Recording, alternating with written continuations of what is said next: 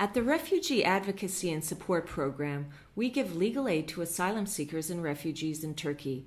We're part of a larger human rights organization called Helsinki Citizens Assembly. This year, we're giving a lot of legal support to separated refugee youth living in Istanbul. We also decided to develop a new issue of Refugee Voices featuring their stories and experiences.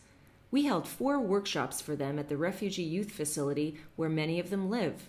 Together, we designed bodies of knowledge to explore their abilities. We talked about freedom of expression. They also came up with their own list of the international rights of children.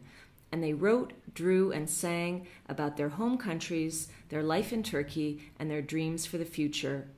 Their work is featured in this special issue of Refugee Voices to celebrate World Refugee Day. We hope you enjoy it.